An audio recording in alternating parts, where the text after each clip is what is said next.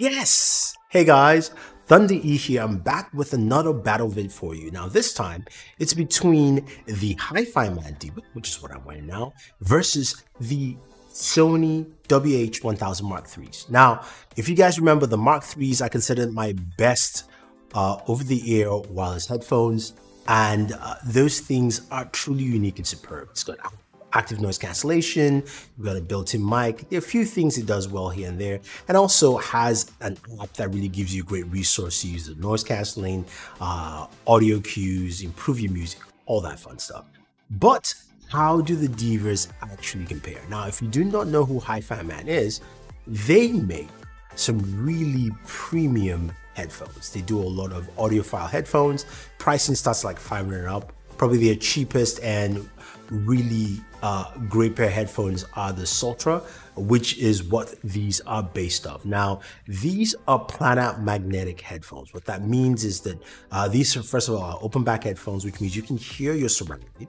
Uh, but you've got some really nice cool drivers that are really thin and uses magnets to basically amplify the sound through it. So the drivers are Neo Super Nano uh, diaphragm drivers really thin, 80% thinner than what they had before, uh, giving you some really surreal sound. But what makes this different? Why is this something we care about? We know, yes, they make uh, premium headphones. It's because this is the first time Hifiman, or even a company like this, has come down with audiophile quality headphones with Bluetooth connectivity. And this is done with a Bluetooth dongle. So in comparison to the Sony's, you do need a Bluetooth dongle that comes with it to connect. But that's not the only way you can use your headphones. You can also use it directly with a 3.5mm jack, or you can connect the dongle right here to the smartphone, to your headphones, and then use the USB connector to connect to your smartphone as well, or also to PC. Now, what's cool about that Bluetooth dongle is not just a Bluetooth connect connector, it's got a built-in DAC, and an amp. So it amplifies the sound and the digital audio conversion is just superb to give you some really clean sound.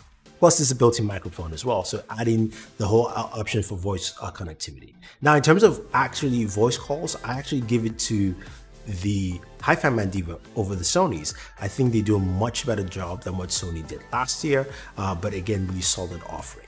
Now, what does that Bluetooth DAC really do for you and what kind of sound does it produce? It is truly unique. What I like about the Hifiman Deva is that when you pick them up uh, and you basically plug it in, uh, you hit the power button, it turns on, it automatically can sync quickly to your smartphone. You put these on, you can hear the world around you, but then you get into this, you, you, play, you press play, and then you get this immerse rich sound. Those planar magnetic drivers do a fantastic job of just making things feel so rich. I mean, the highs are great, the lows are fantastic. The mids are, are where it falters a little bit for me, and I'm grading this above what you usually get. I think in the terms of audio and sound quality while you're listening to music, Nothing in the consumer range at 300 compares to what Hi-Fi has done. I'll put it again. There is nothing at a $300 price range that sounds better than these on your ears. They are absolutely amazing. And it's a great experience because even though there's no active noise cancellation and you're say outside you're listening to music, it's so crisp, it's so clear. It's it's it's a great experience. Now, the, uh, the dongle here supports LDAC, aptX HD, text, SBC, um, high resolution uh, uh, codecs as well. So you've got all the codecs you need to listen to high res audio. And I suggest get Tidal or get the highest quality possible you can listen to on Spotify to really enjoy these headphones and use them to the best of the ability there. It is such a great listening experience. I, I can't understate that there. Now, where it fails in comparison to the Sony is the fact that yes, this doesn't have active noise cancellation. So if you jump on a train or you're on a plane, it's going to be a hard listening experience because again, these are open back headphones. The other beauty, the other thing about it too is that um, when it comes to battery life, you've got a shorter battery life. Uh, so it's seven to 10 hours using, of course, the Bluetooth Mini to connect to your smartphone, as opposed to over 24 hours with Sony, where you're getting a much longer uh, battery life. Now, some will also argue that Sony has a really in-depth app and I love the app that Sony has, especially with the EQs to help customize and it helps improve the listening experience. This doesn't have an app at all to do any of that.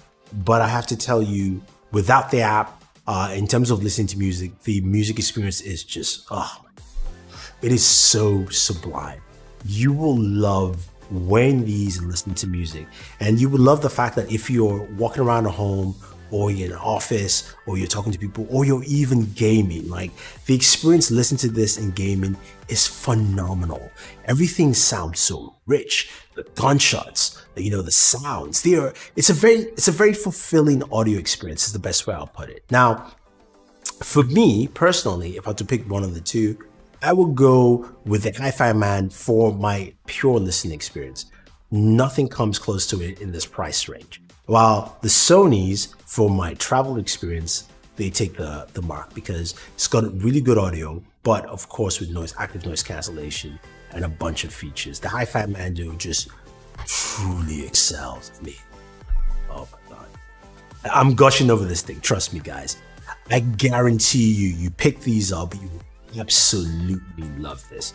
I have not been these excited for pair headphones for quite a while, and I'm happy that these on here. And I love the fact that I, I can put these on my ears and I don't get, of course, any noise ring or anything like that.